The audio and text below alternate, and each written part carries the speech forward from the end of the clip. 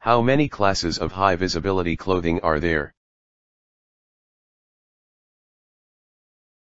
Class 3 Safety Vest Buyer's Guide Being seen is a large part of being safe at work, especially when working on a busy road.